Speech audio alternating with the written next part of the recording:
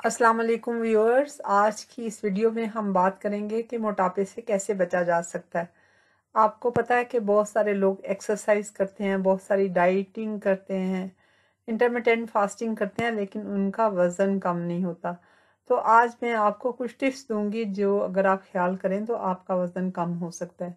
सबसे पहले तो आप देखें कि आपका स्लीव साइकिल तो डिस्टर्ब नहीं है, क्योंकि हमारी जो अल्लाह ताला ने दिन रात बनाए हैं उनके साथ हमारी जिसम के सोने और जान जागने के टाइमिंग्स का बहुत ज़्यादा असर है जिससे हमारा इम्यून सिस्टम हमारे जिसम के हार्मोन जो है वो रेगुलेट होते हैं। अगर हम रात को देर तक जागते हैं और दिन को देर तक सोते हैं तो हमारा हार्मोनल इम्बेलेंस हो, हो जाता है। उसके बाद दूसरा बड़ा फैक्टर जो हमें मोटापे की तरफ़ लेके जाता है वो स्क्रीन टाइम का इस्तेमाल है।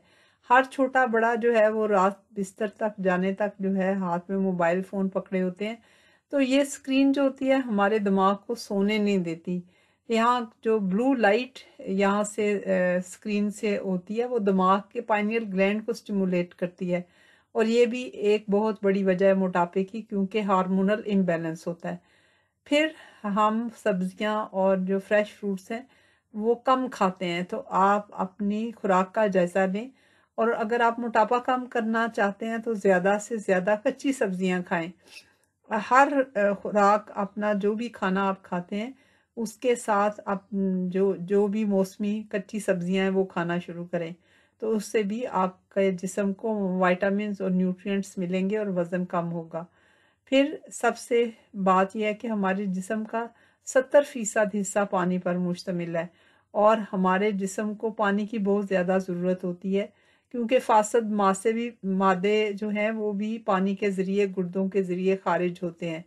तो हर चीज़ के लिए पानी चाहिए तो आप पानी पीना शुरू कर दें। कम अज़ कम नाप कर तीन लीटर जो है, वो पानी पिए। तो फिर आप देखें कि आप, क्योंकि पानी में कैलोरीज नहीं होती और ये फासद मादों के अखराज का ज़रिया बनता है। उम्मीद है आपको वीडियो पसंद आई होगी। अगली वीडियो में आपको बताऊँगी इसके अलावा और क्या टिप्स हैं। इसको